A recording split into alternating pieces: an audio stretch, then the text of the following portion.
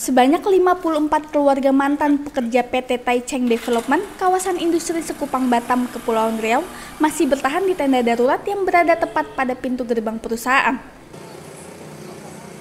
Sejak awal puasa lalu hingga lebaran pun mereka memilih tetap melakukan aksi unjuk rasa dengan menempati tenda darurat bersama keluarganya.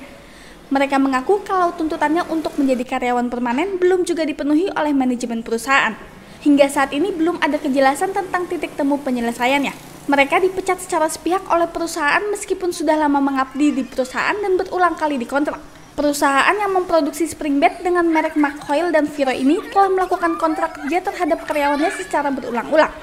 Sebagian besar karyawan yang telah bekerja di perusahaan ini sudah ada yang bekerja selama 9 sampai 12 tahun dengan dikontrak selama 6 bulan dan dilakukan secara berulang-ulang.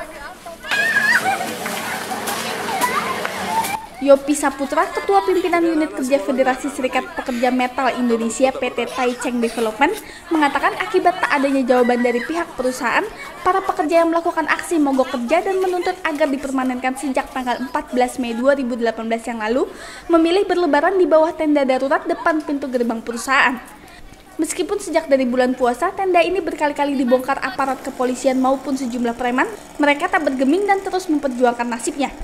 Kalau memang kasus ini dibawa ke PHI, harapan kami perusahaan harus mengikuti aturannya juga. Bahwasanya sebelum putusan wajib bagi perusahaan untuk mempekerjakan kami.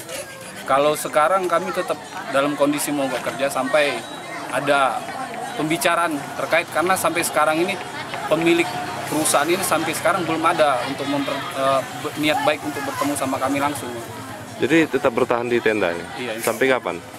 Sampai selesai putusan. Iya, lebaran pun di sini mereka merasa terganggu tapi ya itu tidak bisa uh, tidak bisa memberi keputusan karena yang punya keputusan wewenang untuk memutuskan masalah ini adalah ownernya langsung.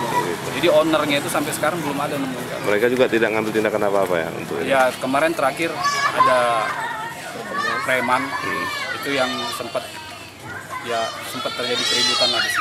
Pihak manajemen perusahaan pun tidak mempedulikan surat anjuran dari Dinas Ketenagakerjaan Pemko Batam yang menyatakan bahwa ke-54 karyawan tersebut harus dipermanenkan. Mereka pun tidak diperbolehkan menemui manajer HRD perusahaan. Namun pihak PT Taicheng hanya terus menawarkan sejumlah pesangon untuk pemberhentian mereka dengan alasan bahwa posisi ke-54 karyawan sudah digantikan oleh karyawan baru. Perusahaan milik Singapura yang mempekerjakan sebanyak 350-an karyawan tersebut tampak belum beroperasi selama lebaran. Sementara siang malam tak peduli hari panas ataupun hujan, para pekerja bersama anak-anaknya tetap sabar menanti keadilan di bawah tenda darurat ini.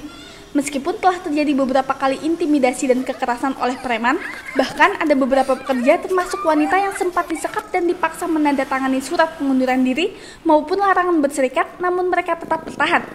Dalam aksi ini mereka juga menggelar sejumlah spanduk yang bertuliskan tuntutan para pekerja. Dari Batam Kepulauan Riau, Andri Sofian Tribata TV, salam Tribata.